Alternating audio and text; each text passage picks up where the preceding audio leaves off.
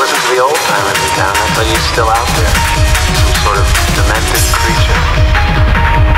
The Surviving